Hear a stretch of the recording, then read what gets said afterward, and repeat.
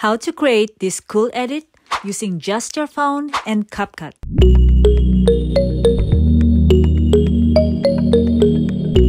First, find a building or monument to jump or step over, like the new palace in Stuttgart.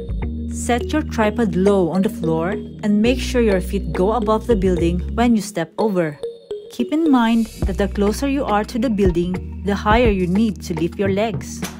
To make it easier for you to step over, set your phone on the ground by leaning it on to something sturdy. But if the building is still high to step over, you can turn your phone upside down so that its camera lens is near to the ground. Once the phone is set up, record yourself stepping over, then run towards the building.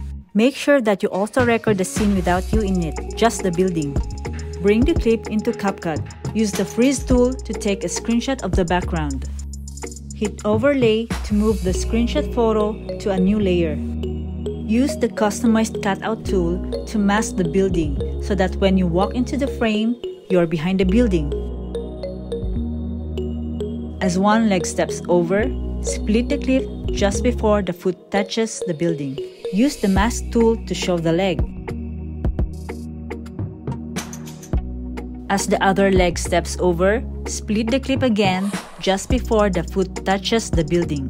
Delete the rest of the clip to reveal the second leg.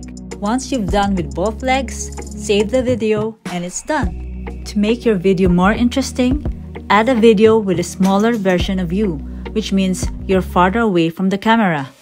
Record yourself waving at the bigger version of you. Add the clip to CapCut and hit overlay to move the clip to the bottom layer. Use the mask tool to show half of the frame. Add feather to make the mask seamless. Finally, export your video. Here's the result.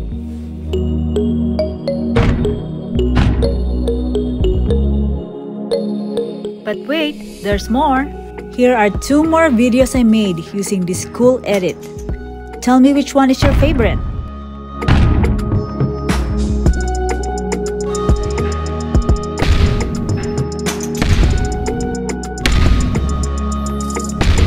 See more cool ideas in this channel. Choose!